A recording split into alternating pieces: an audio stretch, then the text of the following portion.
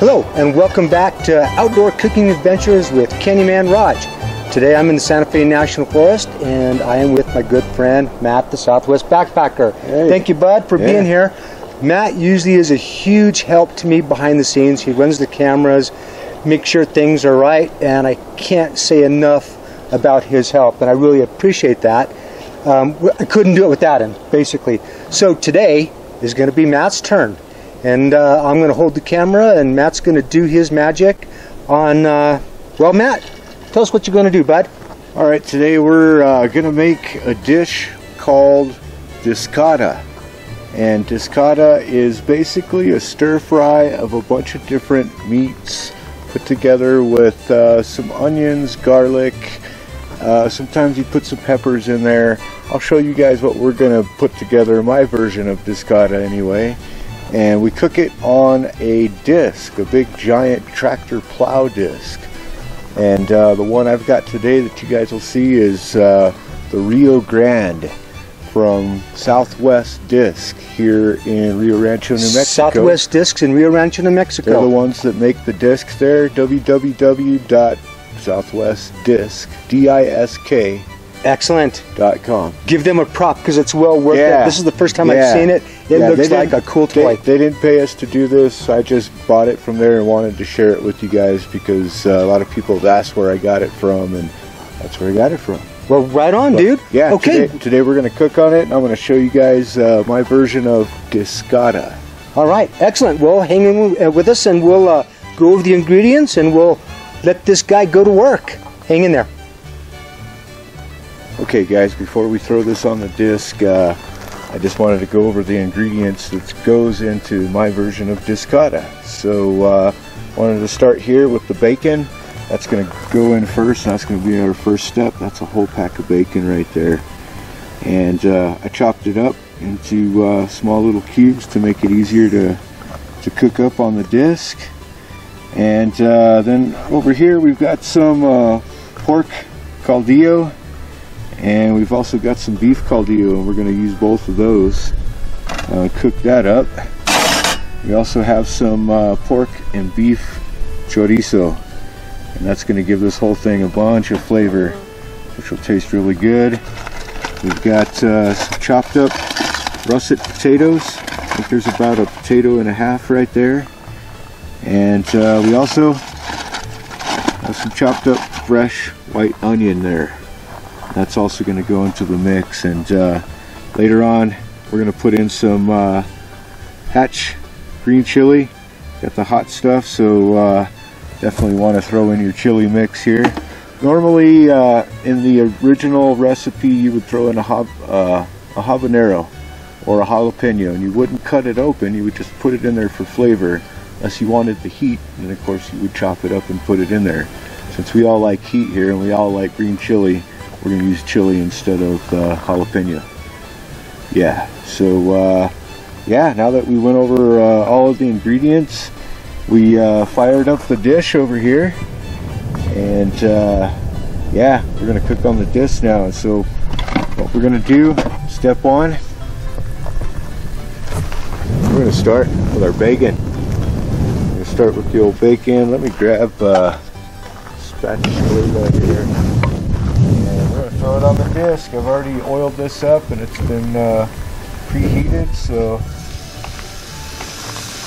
sounds real nice. What I'm gonna do is let that cook up and let uh, this bacon basically uh, render get all of the, the the fat and the grease out of there. And uh, we'll cook this up, set it to the side, and start with step two. What I'm trying to do is just keep that bacon spinning around and uh, moving around so it doesn't burn. Actually turn the heat down just a little bit. And uh, want to try to cook this like bacon you do at home. You know, you flip it on both sides and cook it till it gets crispy brown. But uh, since we got little bacon bits here, what I like to do is just kind of flatten it out on the bottom of the disc. Let it sit there for 30 seconds or so and then get in here and spin it around and do the same thing and just keep going until uh, we start rendering out all of the bacon fat out of there and the meat starts cooking. And once the meat's cooked we're going to slide it off to the side and add in our next ingredient which will be our uh, potatoes and uh, then our onions. So stay tuned.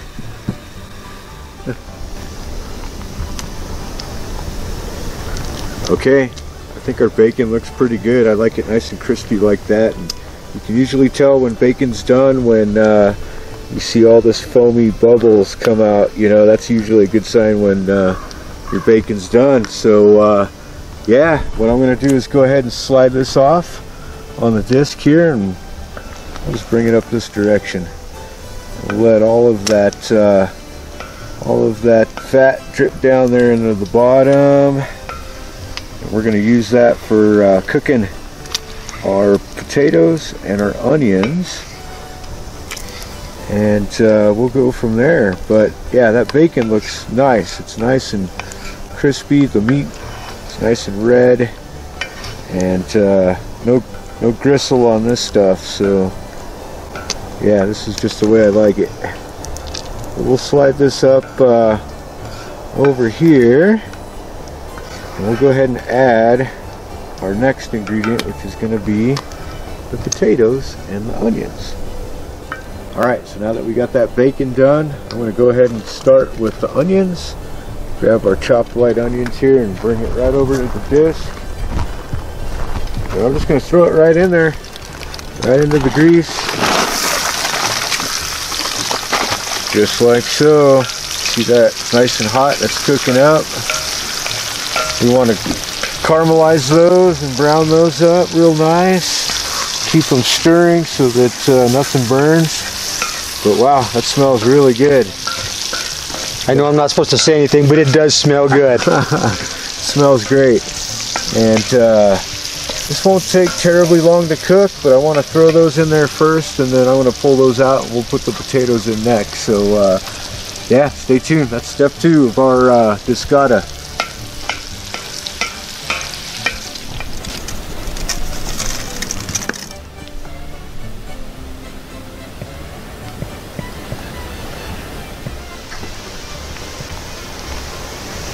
All right, those onions look nice and golden and uh, they're transparent, translucent. You can see through them now. So uh, what I'm going to do is go ahead and just like the bacon, I'm going to slide it off up here to the side and let all of that uh, bacon fat, bacon grease render uh, that we, we had rendered slide back down into the bottom because we're going to need that for our potatoes.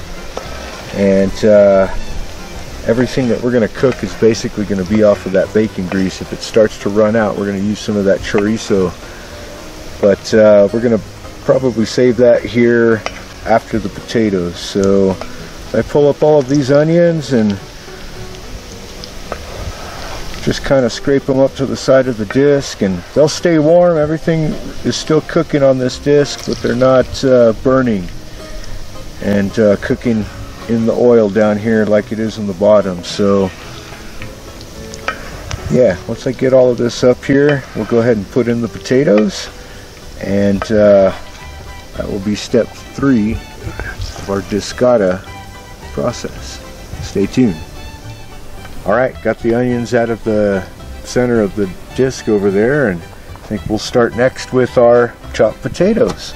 What I did is I uh, sprinkled some of this minced garlic on there Normally I would have a regular um, whole garlic that I would chop up, maybe a couple of the cloves or whatever, but uh, the one I brought was rotten. So I'm glad I had this backup. It's just minced garlic uh, from McCormick, the dried stuff, but yeah, want that garlic flavor. So I'm gonna grab my uh, potatoes here, see if I can do both of these.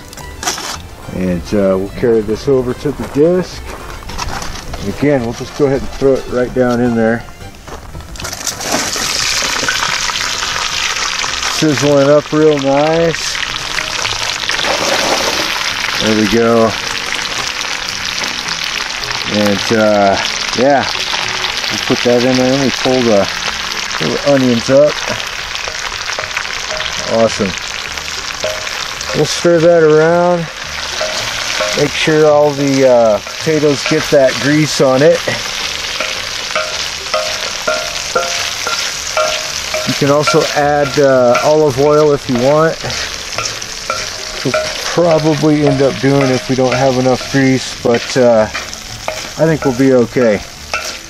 And the potatoes are going to take the longest to cook in this whole thing, so we got another 20, 30 minutes I think before these potatoes are done.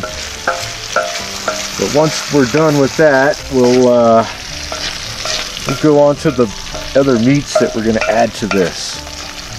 So uh, yeah, we'll uh, go ahead and cook up these potatoes and uh, we'll show you more here soon. Alright, as you guys can see here, the potatoes I think are nice and crispy brown. They've been cooking down here for a while.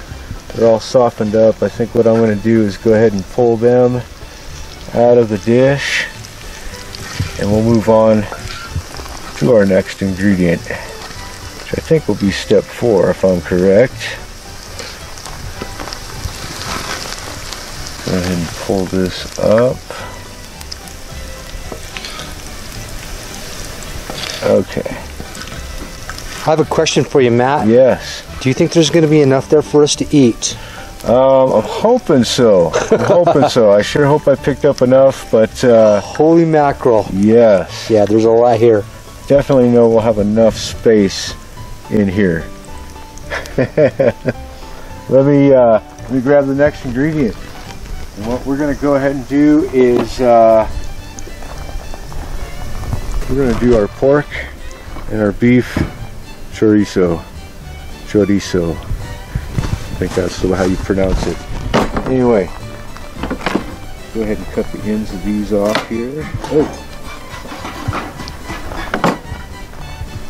They look real nasty, but uh, this gives everything flavoring. This is all about the flavoring for this dish.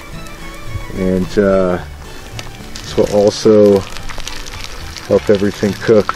It tastes really good once this stuff is all mixed in. So yeah, we'll go ahead and put a tube of the pork stuff in there and a tube of the beef stuff and we'll cook that up. It does not take very long to cook up.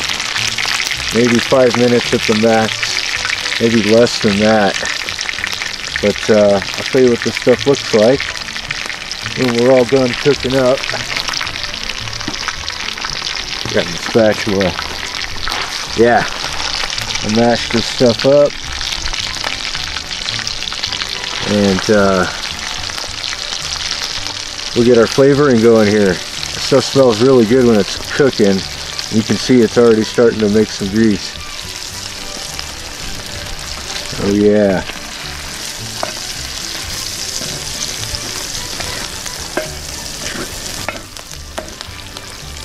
Gotta spin it. You gotta keep it moving so it doesn't burn. But it won't take long. It'll thin out almost like a almost like a mole. You'll know that that's when it's basically done. You can pull this stuff up to the side and add the rest of our meat ingredients. We can mix all this up.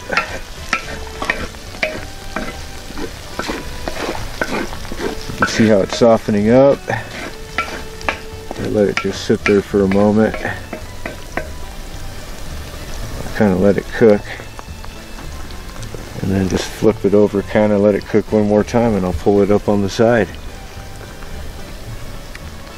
Okay as you can see the uh, chorizo is cooked all the way through and uh, what I'm going to do is just kind of push it off here to the side. I don't think it's going to stick on the disc.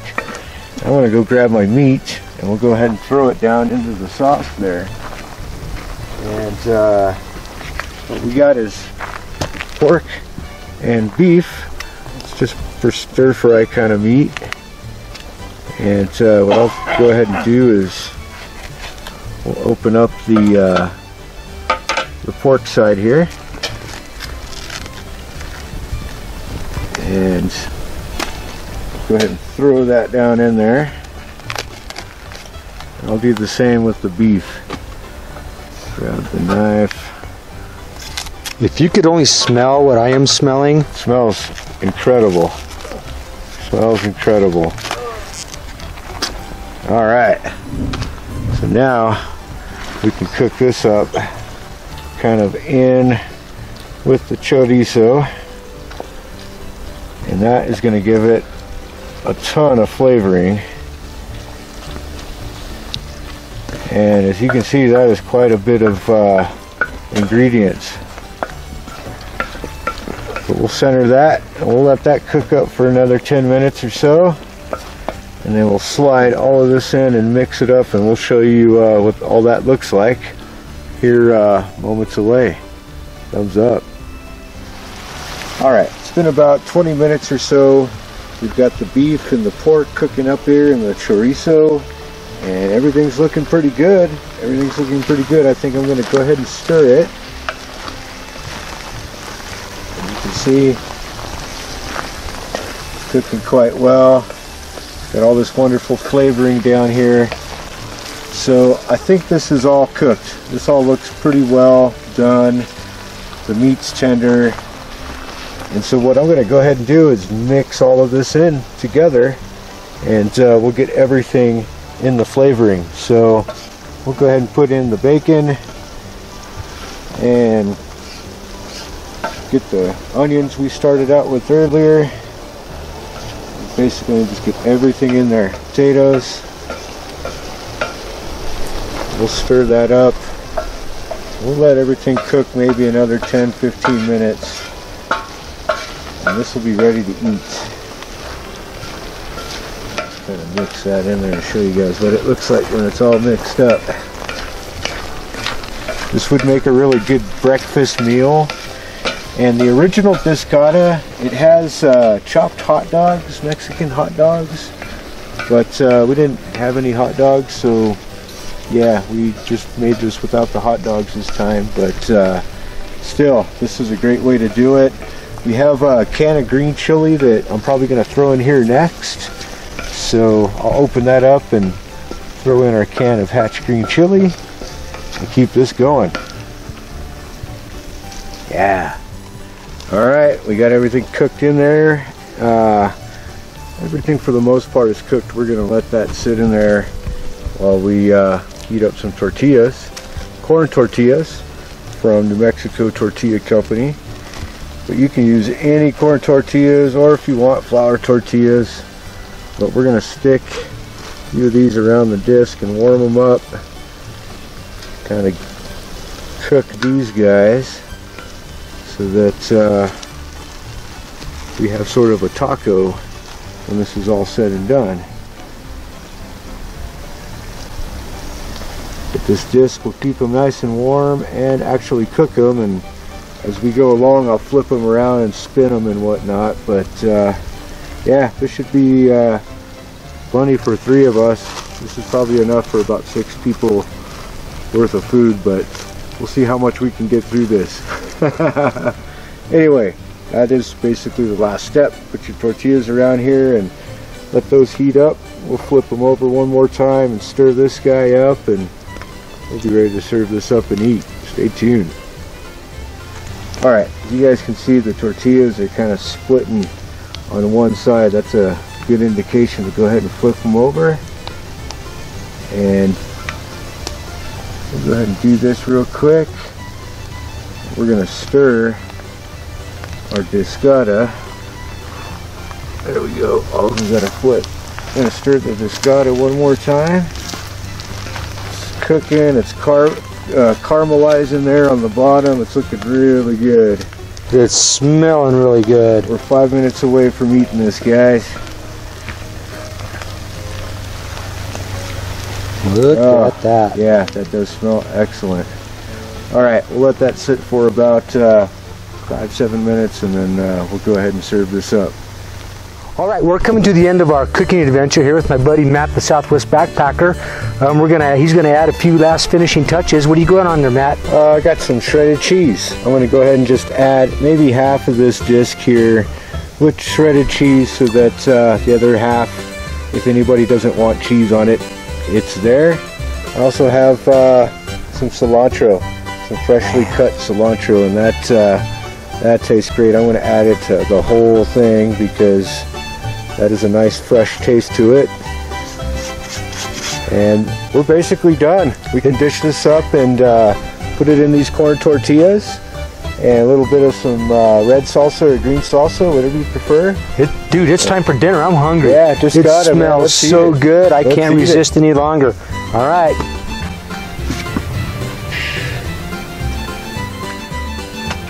Really good. Okay. Here we go.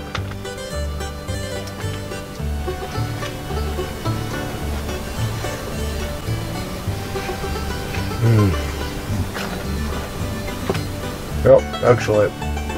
I don't know what to say other than a two thumbs up. Matt, you did a great job. Thank you. I'm impressed. you. Yeah, I'm very, impressed. Very delicious. Pretty easy to make. Potatoes take the longest, but uh, yeah, fun to cook on the disc, and Easy- you guys e- enjoy it. Easy meal to make. It look like Very- It- it- very it's a little time consuming. It takes a while, but it's an easy meal to make. Um, who's the manufacturer of our disc again? Let's give them a prop because without the disc, this meal would not be possible. So it's uh, Southwest Disc, and it's not D-I-S-C, but it's D-I-S-K. Southwest Disc, D-I-S-K dot com. And uh, they have all kinds of different sizes. They got the 24 inch, they've got a 22 inch, an 18 inch, even think they go down to 14 inch. All made in America, here in Rio Rancho, New Mexico. And uh, the owner is uh, veteran, so it's uh, veteran owned and very good company. So if you're looking to get a All the more reason. disc Yeah. that'll last you a lifetime, you can pass it down to your uh, kids, and they can pass it down to their kids. Uh, stop over at southwestdisk.com and check out their discs, man. They're uh, they're awesome. Thanks, Matt. And Yeah. I, you know, and that being said, I'm going to get one. I'm going to. I live in Rio Rancho, so I like patronizing our local businesses, and I am going to get one. And uh, that being said, um, I hope you enjoyed this uh, version of Outdoor Cooking Adventures with Canyonman Rog and my buddy Matt. This is Matt's recipe. Turned him loose. He didn't disappoint, man. You kicked butt, dude. I appreciate it. Glad Um, to share it with you guys. questions or comments to me or Matt, be sure and let us know. Um, if you're not a subscriber, to subscribe and uh, stay tuned for the next outdoor cooking adventures with Canyonman Rog and Southwest, Back- Southwest Backpackers always working in the background. Can't let him leave him out. So appreciate him. All right, thanks for watching, guys.